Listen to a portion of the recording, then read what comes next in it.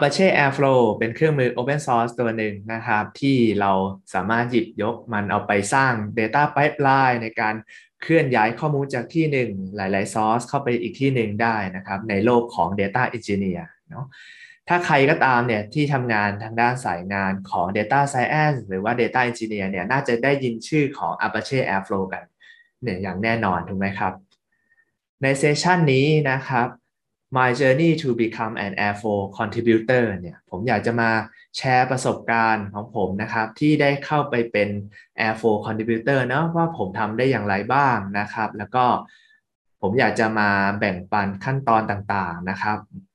ให้สำหรับทุกคนที่สนใจนะครับ ว่าคุณต้องทำอะไรบ้างในการที่จะมา contribute Airflow ได้นะครับ ก็ขอแนะนำตัวเองอย่างเป็นทางการนะครับผมชื่อการอุ๋ยเวรัตนะครับ ตอนนี้ไตเติลตัวเองว่าเป็น Data Craftsman นะครับแล้วก็เป็น Technical Consultant นะครับ ก็คือเป็นผู้ที่ชื่นชอบในงานทางด้าน Data นะครับ แล้วก็อยากจะสร้างเครื่องมือ อยากจะสร้างแพลตฟอร์มอะไรขึ้นมาแบบคราฟคราฟนะครับประณีตเพื่อมาตอบโจทย์ทางด้าน business แล้วก็ทางด้านแก้ปัญหาทางสังคมนะครับ แล้วก็ตอนนี้เป็น community organizer นะครับของ ลุ่มที่เรียกว่า Data Council นะครับที่กรุงเทพนะครับกลุ่ม Data Council เนี่ยเป็นจริงๆแล้วมาจากที่อเมริกานะครับแล้วก็เขามี direction ประมาณว่า เราอยากจะแชร์ practice ต่างๆ ในโลกของ Data Engineer ในโลกของ Data Science เนาะ practice ต่างๆ ที่ได้มาจากบริษัทต่างๆนะครับแล้วก็มาจับกลุ่มแชร์กัน ซึ่งผมชอบในเลคชั่นนี้ ผมก็เลย ขอแบรนด์ของเขานะครับ มาตั้ง community ในไทยด้วยเช่นเดียวกันนะครับ แล้วก็ตอนนี้เป็นแอดมินเพจของใน Facebook ชื่อว่า Data Engineer Cafe นะครับ เราเข้าไปชมกันได้เนาะและเนื่องจากผมพยายามที่จะ contribute airflow พยายามที่จะศึกษา airflow นะครับ ก็ได้ไปลองสอบ certificate ของ astronomer นะครับ ก็ได้มาแล้ว 2 ใบนะครับนี่ก็เป็นประวัติคร่าวๆนะครับ ส่วนหัวข้อ section ของวันนี้นะครับ ผมขอแบ่งเป็น3 section หลักๆนะครับ ก็คือ section แรกก็คือ เดี๋ยวจะมาแนะนำก่อนว่า Airflow เนี่ยคืออะไรนะครับ แล้วก็ section ที่2เนี่ยก็จะเป็นส่วนของประสบการณ์ของผมที่ได้เข้าไป contribute ใน Airflow community เนาะเข้าไปแก้โค้ดเข้าไปร่วม discuss กับเขาอะไรประมาณนี้นะครับ ว่าผมทำอะไรบ้างแล้วก็ผมไปถึงจุดนั้นได้อย่างไรนะครับ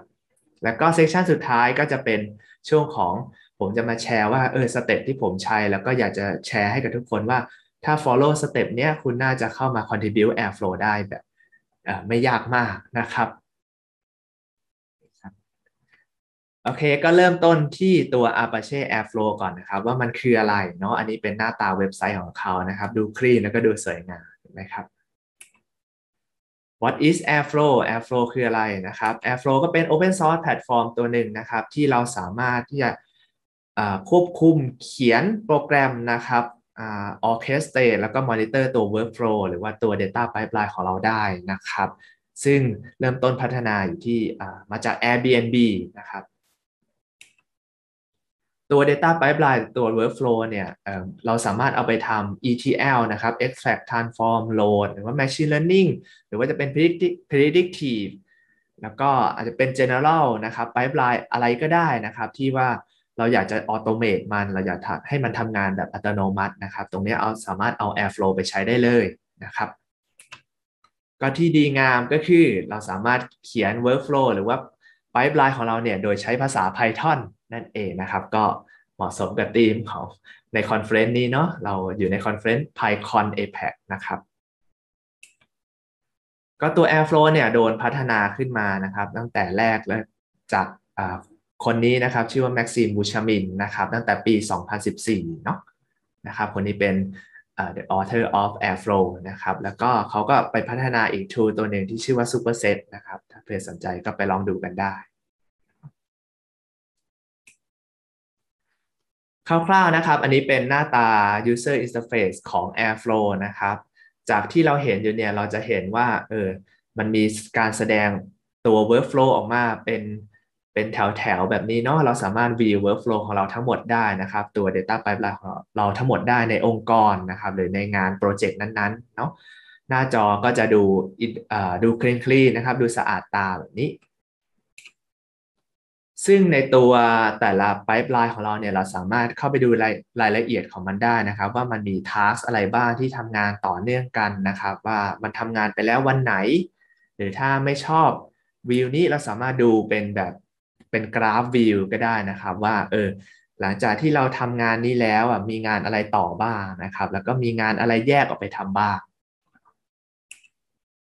นอกจากนั้นแล้วเราสามารถดูเป็นวันได้นะครับ ดูเป็นคาล endar แบบนี้ได้นะว่าเออวันนี้เรามีการรันตัวไ i ป์ไลน์ของเราไปแล้วนะครับ วันนี้ยังไม่ได้รันนะครับ หรือว่าถ้ามีวันไหนเฟลมันจะขึ้นสีแดงขึ้นมา อันนี้ก็เป็นหน้าหน้า interface ที่ดีมากอีกหน้าหนึ่งนะครับ เราสามารถมามอนิเตอร์ได้ว่าแต่ละ task ของเราเนี่ยมันทำงานไปนานแค่ไหนแล้วนะครับ มันทำงานไปนานเกินไปหรือเปล่า หรือว่ามี task ไหนที่มันเราสามารถจะ parallel รันให้มันพร้อมๆกันได้แบบนี้นะครับ ตรงนี้เราก็มามอนิเตอร์ได้ เอามาปรับปรุงตัว Data Pipeline ของเราได้นะครับ เนื่องจากว่า ตัว pipeline ของเราเนี่ยเราสามารถ define มันด้วยการเขียนโค้ด Python เนาะอันนี้ก็จะเป็นโค้ด Python ที่เรา define ขึ้นมานะครับ เป็น1 pipeline pipeline หนึ่งเนาะ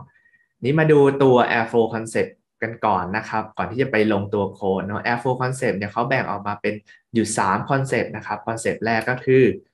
DAG นะครับ DAG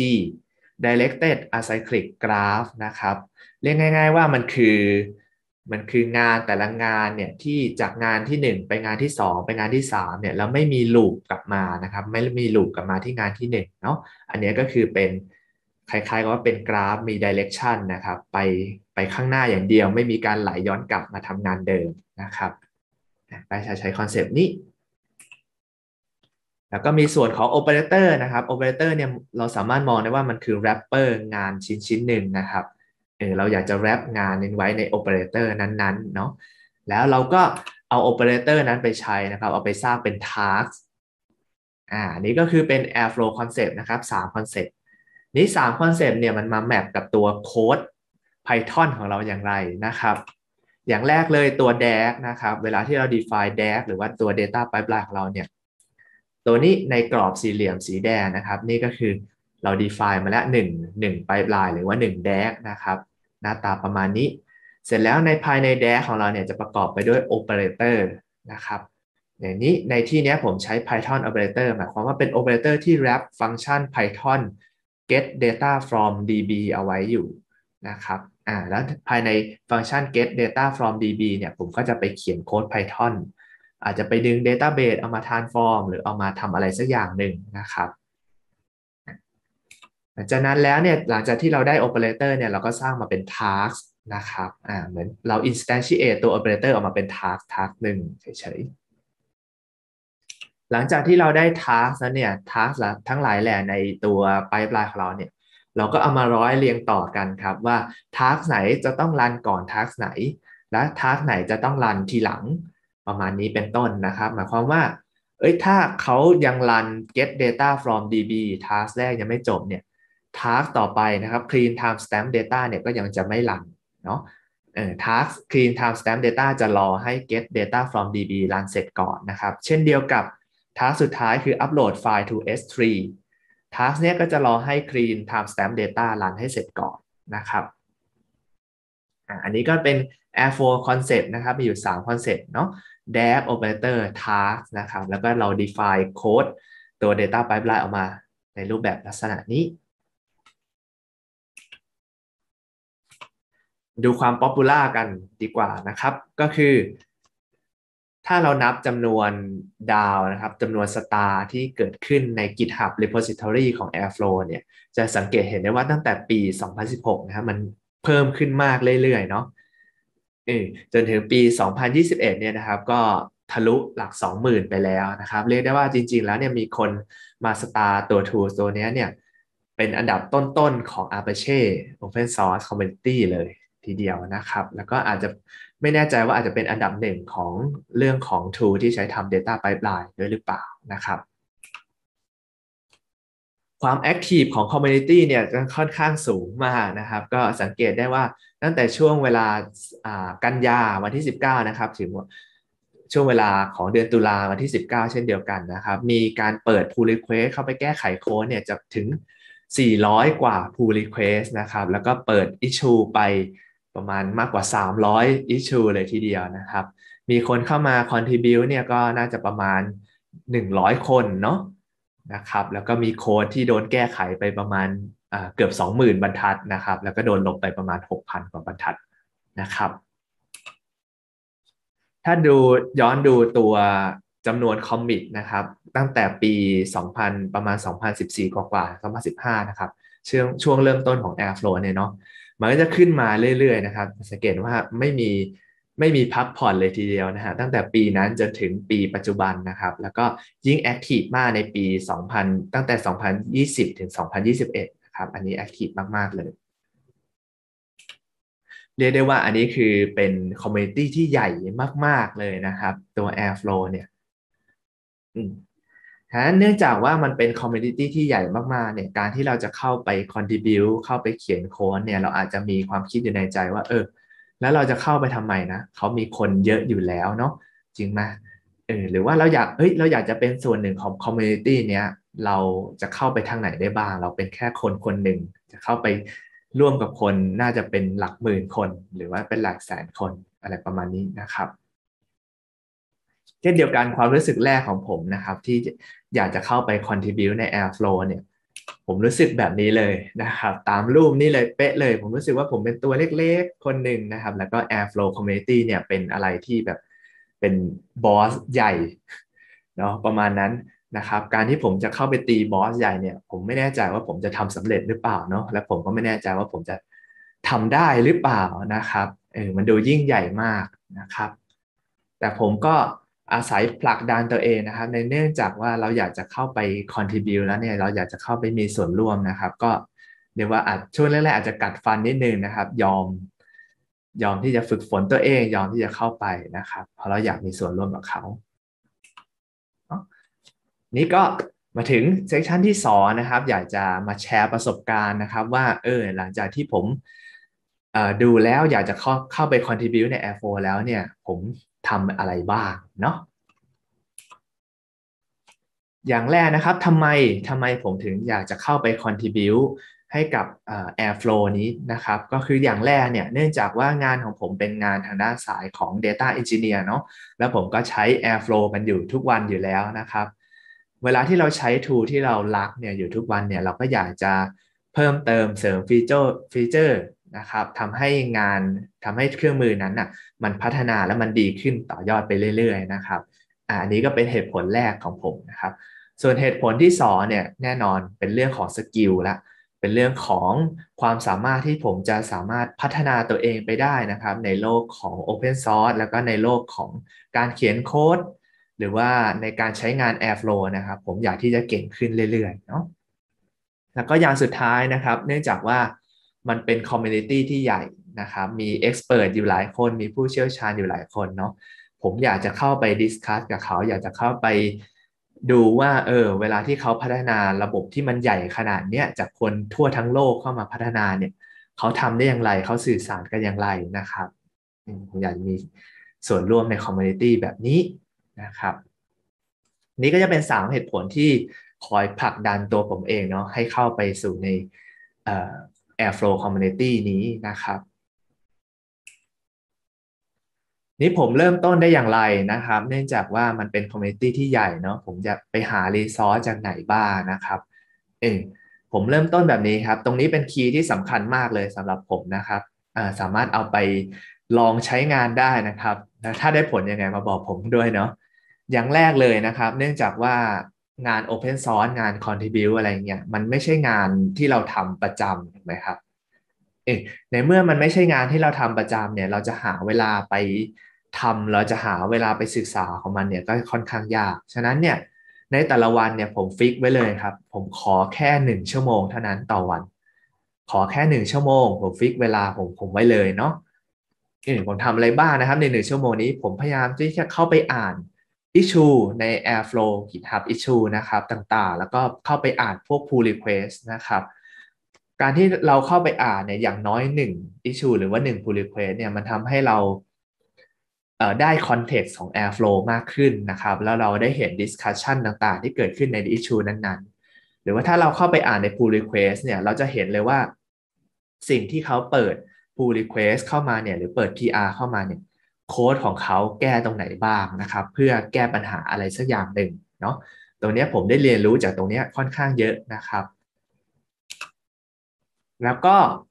ผมเข้าไปจอย Slack ของ Airflow ด้วยนะครับ เข้าไปพยายามที่จะอ่านแมสเซจต่างๆ เข้าไปพยายามที่จะอ่านคำถามต่างๆ ที่เกิดขึ้น แล้วก็คำตอบที่เกิดขึ้นจากคนใน community นั้นๆนะครับ ตรงนี้ก็ทำทำให้ผมสามารถได้เรียนรู้อะไร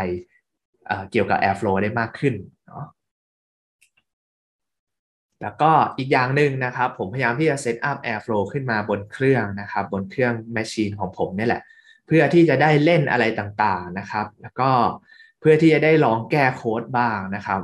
แก้โค้ดตรงนี้มันกระทบกับหน้าจอตรงไหน แก้โค้ดตรงนี้มันกระทบกับการทำงานตรงไหนของ Airflow นะครับ ซึ่งส่วนนี้ผม reserve ไว้ 1 ชั่วโมงต่อวันเลย เลือกทำอย่างใดอย่างหนึ่ง เสร็จแล้วช่วงเวลาว่างอื่นๆเนี่ยผมก็จะพยายาม catch up ตามวิดีโอตาม YouTube ต่างๆนะครับ หรือว่า Airflow Summit ที่เขาแปะทุกพวกวิดีโอไว้ ผมว่าอาจจะใช้เวลาสักครึ่งชั่วโมงในการดู YouTube นั้นๆนะครับ อาจจะเป็นอาทิตย์ละครั้งอาทิตย์ละสองครั้งอันนี้แล้วแต่นะครับ แล้วก็อย่างสุดท้ายก็พยายามที่จะแชร์ knowledge ที่ผมมีนะครับ ออกสู่คนภายนอกด้วยให้เขาอ่านนะครับ ซึ่งการที่เราเขียนพวกบทความต่างๆ ในการที่เราเอ่อ organize ความคิดของเราเนี่ยครับ แล้วก็เขียนออกมาเป็นบทความให้คนอื่น เข้าใจเนี่ยเออมันก็ได้ทบทวนอะไรหลาย ๆ อย่างเนาะความรู้หลาย ๆ อย่างในตัวผมนะครับ แล้วก็ไปอ่านของคนอื่นด้วยนะครับ ว่าเขาคิดยังไงบ้างครับอันนี้ก็เป็นจุดเริ่มต้นของผมนะครับ ที่ผมทำประมาณเนี้ยทำทุกๆวันทำทุกอาทิตย์นะครับ จน อันนี้ก็เป็นผลผลเป็นผลพลอยได้นะครับ ที่ผมได้จากการทำสิ่งเหล่านั้นเนาะเออตอนนี้จนถึงจนถึงณวันนี้นะครับ ในเซสชันนี้ผมเปิดตัว pull request ไปได้แล้ว 4 pull request นะครับ pull request เนี่ยเริ่มต้นตั้งแต่ปี 2017 เลยนะครับ อันนี้เป็น pull request ต้องอธิบายนิดนึงว่า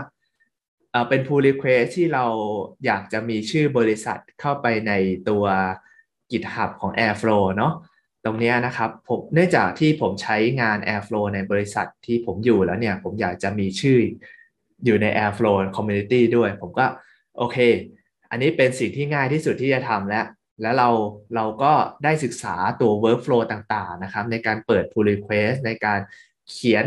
issue ในการเขียนตัว pull request บรรยายว่าเออเราต้องการทำอะไรให้กับตัว community นี้นะครับเออผมก็ได้เรียนรู้ตรงนั้นจาก pull request นี้เนาะ เสร็จแล้วต่อมาก็พยายามที่จะศึกษาต่อนะครับ แล้วก็พยายามที่จะแก้ด็อกิเมนต์บ้าง พยายามที่จะแก้โค้ดบ้างนะครับ ก็เกิดมาเป็นอีก 3 pull request ถัดมานะครับ ตั้งแต่ปีปีนี้อ่า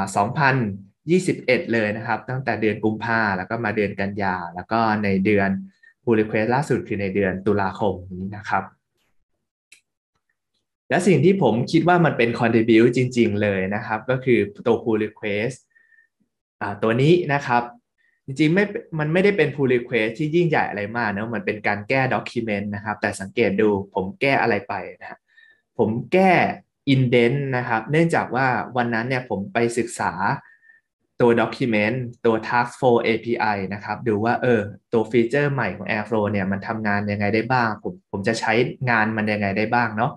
ผมก็เข้าไปดู document นะครับ แล้วก็เข้าไปเจอว่า เอ๊ะโค้ดตรงเนี้ยมันเหมือนมันมี indent ผิดเนาะ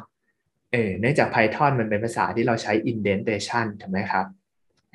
นะตรงนี้ indent ผิดแล้วผมก็จะพยายามหาว่า เออจริง ๆเขาจงใจหรือเปล่านะ หรือเขาเขาเขียนผิดจริง ๆนะครับ ตรงนี้แหละ ผมก็เลยเข้าไปศึกษาตัว document อย่างจริงจังแล้วว่าเออ structure เป็นแบบไหน แล้วโค้ดที่ผมจะแก้เนี่ยอยู่ตรงไหนบ้างนะครับผมก็มาเจอว่าเออจริง ๆเขา indent ผิดเนาะ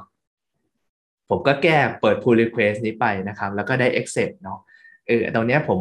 คิดว่ามันเป็น contribution หนึ่งที่แบบเล็กๆมากนะครับ ที่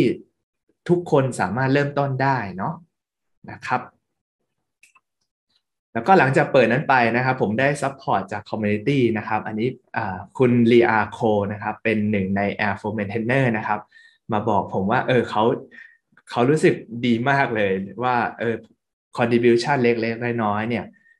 มันเป็นสิ่งที่เขาอยากเห็นนะครับ แล้วก็อยากเห็นจากทุกคนเลยเลยว่าไม่ว่าจะเป็น pull request เล็กหรือใหญ่ก็ตามเนี่ยคุณสามารถที่จะ contribute เข้าไปได้นะครับ อันนี้ผมก็เก็บทวิตนี้ไว้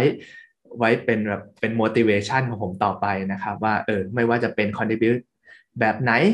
ผมก็จะสามารถ contribute ให้กับตัว Airflow community ได้นะครับ นี่หลังจากที่เปิดตัว pull request อ่าสี่อันนั้นไปแล้วก็หลังจากที่ผมเริ่มศึกษาตัว issue ต่างๆ ของ Airflow แล้วก็ pull request ต่างๆนะครับ สิ่งที่ผมได้เรียนรู้อันนี้ล้ำค่ามากเลยสำหรับผมนะครับ ก็ 3 อย่างยกยกมาให้แชร์ให้ฟังกันก็คือ 1 perspective นะครับหรือมุมมองจากคนหลายๆ คนนะครับ จริงๆแล้วเป็นใน community ของ Airflow เนี่ยมันมีคนมาจากทั่วโลกเลยเนาะ แปลว่าผมสามารถเห็น perspective ของผู้ใช้งาน Airflow นะครับจากทั่วโลกเลย ว่าใน issue แบบนี้เนี่ยปัญหาแบบนี้เนี่ยเขาคิดอย่างไรบ้างนะครับ แล้วเขาเขียนโค้ดแบบไหนบ้างเนาะนะครับแล้วก็อย่างที่สองแน่นอนเนื่องจากผมไปอ่านโค้ดของคนอื่นไหมผมไปอ่านโค้ดของคนอื่น ผมได้ลองมาเขียนโค้ดเองบ้างนะครับในใน Airflow เนี่ยผมก็ได้เรียนรู้เทคนิคต่างๆนะครับในการเขียนโค้ดพัฒนาโค้ด ดันสกิลของผมให้เพิ่มขึ้นได้นะครับ แล้วก็อย่างสุดท้ายคือเป็น Open Source Culture นะครับ เนื่องจากว่า เอ้ย เราอยู่กันต่าง time zone เราอยู่กันต่างพื้นที่ เราไม่ได้นั่งรวมกลุ่มที่เดียวกันเนี่ย การ communicate การ การเขียนบรรยายต่างๆ เนี่ย มันจะต้องสำคัญมากเนาะ แล้วก็การเคารพซึ่งกันและกัน ความคิดเห็นของซึ่งกันและกันเนี่ย มันเป็นยังไงบ้างนะครับ ซึ่งตรงนี้ผมก็ได้เรียนรู้จาก community นี้อย่างล้นหลามเลยทีเดียวนะครับ โอเค นั่นก็เป็นส่วนของประสบการณ์นะครับ ที่ผมได้เข้าไป contribute ใน Airflow เนาะต่อไป section section นี้ก็อยากจะมาแชร์นะครับว่า เออ ถ้าใครก็ตามที่สนใจอยากจะ contribute ให้กับ Airflow บ้างเนี่ย คุณสามารถเริ่มต้นยังไงบ้างนะครับ แล้วทำไมจริง ๆ แล้วเนี่ยคุณควรจะเข้าไป contribute Airflow เลยนะครับ เพราะว่ามันมี benefit มีประโยชน์หลายอย่างที่คุณจะได้รับจาก community นี้นะครับ อันนี้เป็น guideline นะครับที่ผมลอง list ขึ้นมาเบื้องต้นนะครับว่าเอ้ยอยากให้ทุกคนลอง follow ดู ถ้า follow แล้ว work ก็ยังไงก็ feedback กลับมาหาผมก็ได้นะครับหรือถ้าไม่ work อย่างไรก็ลองลองมาช่วยกันปรับแก้ได้นะครับ ก็คืออย่างแรกเลยคือ ผมอยากตอนที่เราเริ่มใช้งาน Airflow เนี่ย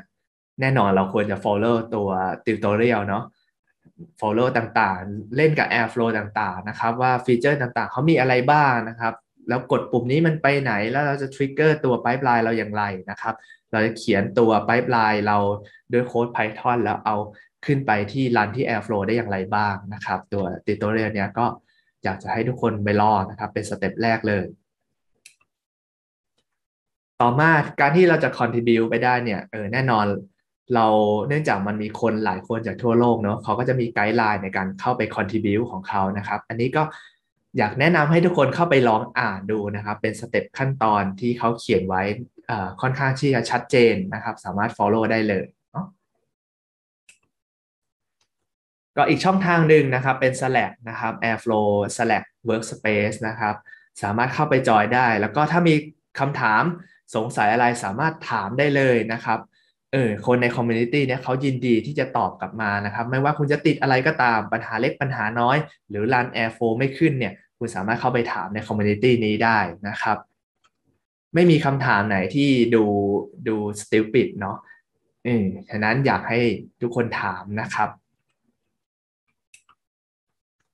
แล้วก็อย่างสุดท้ายก็เนื่องจากว่าเออเราอยากที่จะลอง contribu ให้กับ Airflow เนี่ยเราก็จำเป็นที่จะต้องรู้ว่า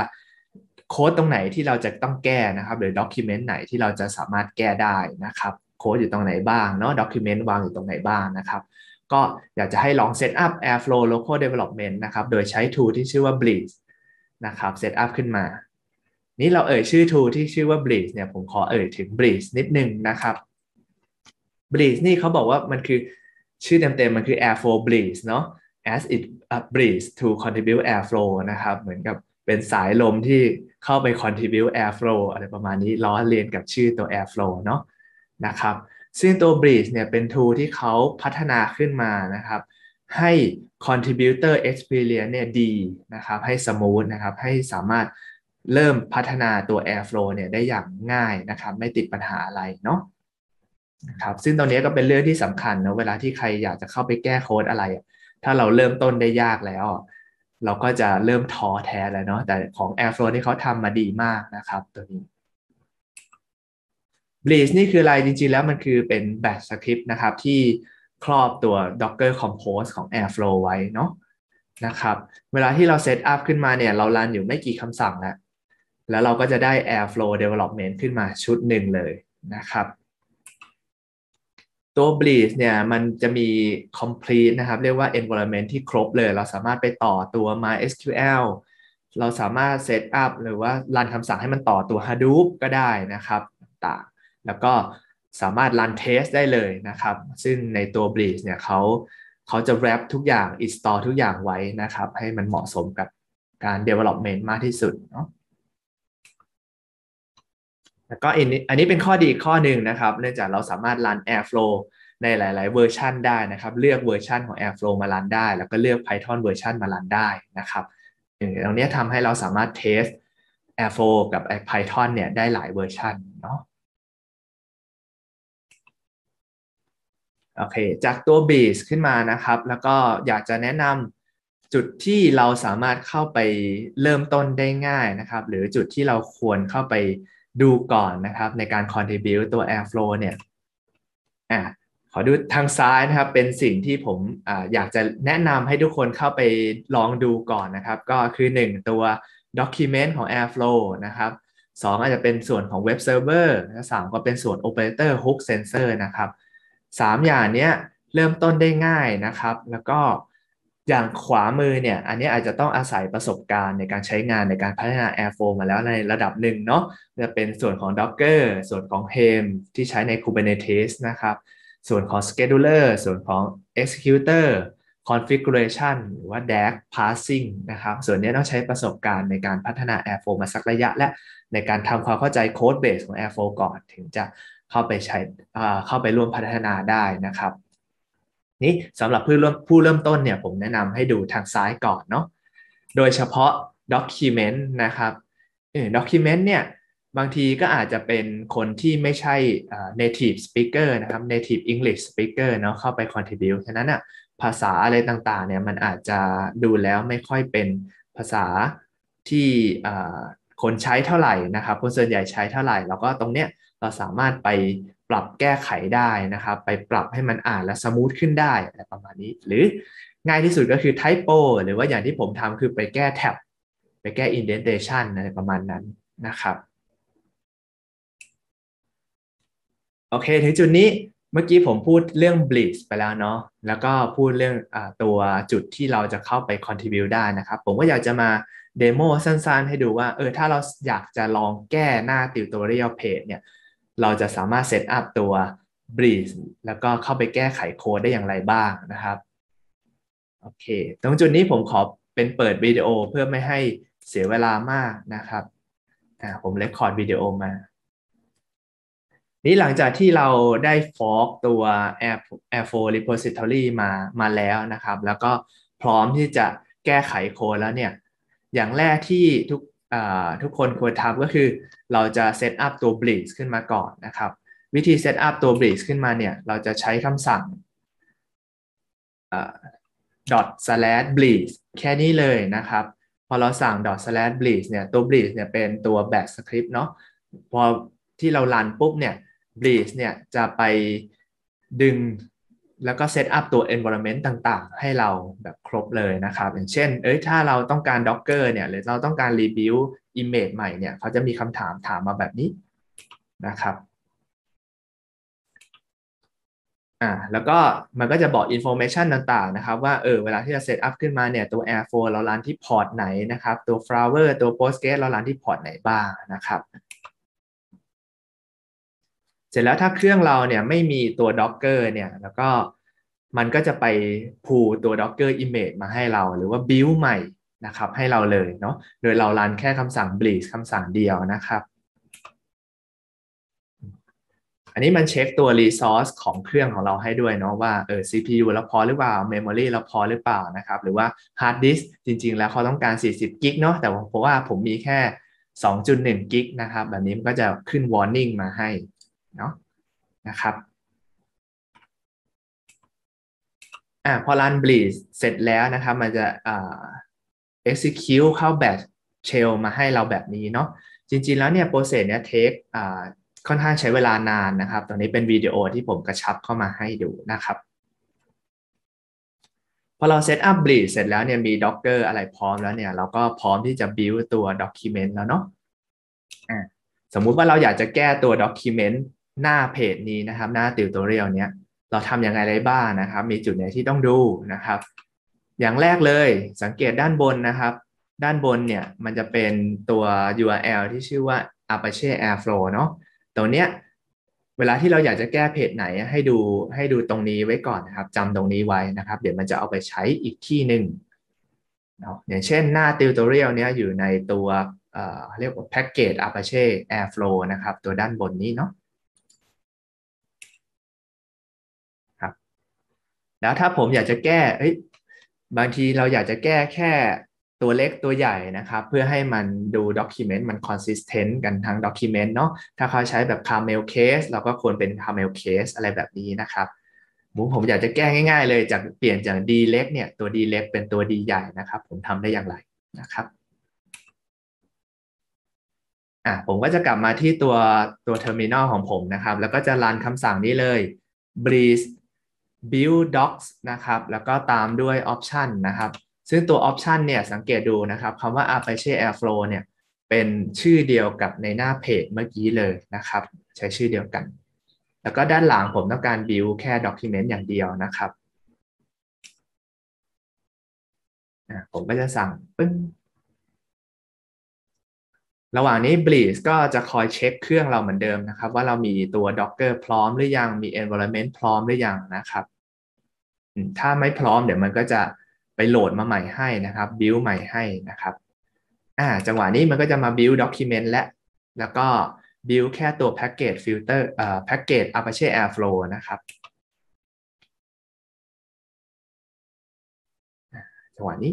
ขั้นตอน build ก็จะใช้เวลาสักนิดหนึ่งนะครับ แล้วก็ ดี๋ยวมันก็จะ build เสร็จก็จะขึ้น finish นะครับ ตรงนี้ถ้าใครคุ้นเคยกับ Sphinx นะครับ เป็นอีก framework นึงที่ใช้ในการทำ Document ใน Python เนาะ ตรงนี้ก็จะสามารถเข้าไปแก้ไขตัว Apache Airflow Document ได้ง่ายมากขึ้นนะครับ เพราะเราคุ้นเคยกับ Sphinx เนาะอ่าตอนนี้ผม build เสร็จแล้วนะครับ build ตัว document เสร็จแล้ว แล้วเราอยากจะเปิด run ตัวเซิร์ฟเวอร์เพื่อมาดู document บนเครื่องนี่ทำยังไงได้บ้างนะครับ อ่าผมก็จะเข้าไปที่โฟลเดอร์ docs นะครับใน Airflow พอเข้าไปแล้วเนี่ยสังเกตมันจะมีสคริปต์ที่ชื่อว่า start doc server อยู่นะครับ ซึ่ง start doc server เนี่ยเป็นแบบสคริปต์ที่ wrap Python 3 ไว้ที่เขาใช้โมดูล HTTP server นะครับ เอาไว้รันเซิร์ฟเวอร์ขึ้นมาเนาะเพราะฉะนั้นตรงนี้ให้ใช้ Python 3 นะครับ ผมก็ initial ตัว py-env ขึ้นมาก่อนให้ เครื่องผมเป็น Python 3 นะครับ แล้วเวลาสั่ง start server เนี่ยผมก็จะเป็น dot slash start doc server ได้เลยเนาะโดยตัว document เนี่ยจะรันอยู่ที่พอร์ต 8000 นะครับ หรือว่า 8,000 ผมก็จะมาเข้าหน้าเว็บดูนะครับ ดูที่พอร์ต 8,000 นะครับโอเค ผมได้ document แล้ว อันนี้จะเป็นหน้า home หน้าแรกเลยครับ ของ Airflow document เนาะ โอเคอ่าแล้วผมก็จะสามารถคลิกเข้าไปดูในแต่ละหน้าได้นะครับ ผมคลิกเข้าไปดูในหน้านี้อ่านี้อยู่ในตัวแพ็กเกจตัว Apache Airflow ผมเข้ามาในตัวเมนูที่ชื่อว่า Tutorial นะครับอ่าผมเจอแล้วจุดนี้แหละคำว่า definition เนี่ยเป็นคำที่ผมอยากจะแก้เนาะโอเค ผมก็จะอาจจะเปิด editor ตัวหนึ่งขึ้นมานะครับ ในโฟลเดอร์ document ตัวนี้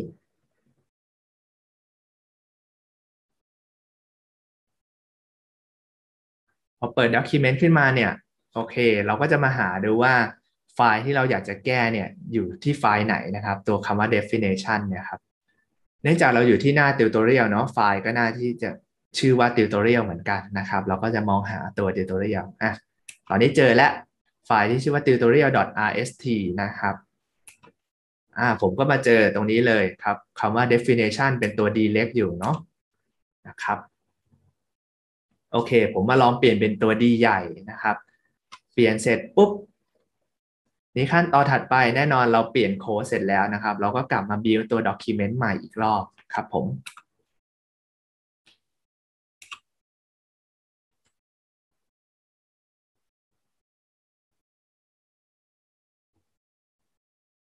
ตรงนี้เราก็รอมัน build document สักแป๊บหนึ่งนะครับ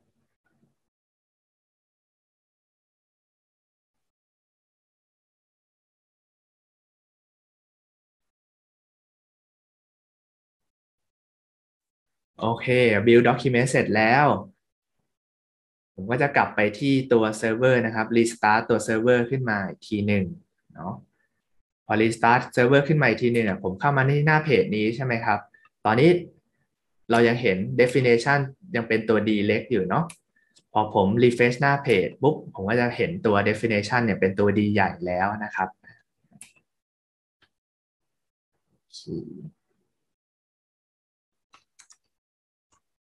ครับ อันนี้ก็จะเป็นส่วนของ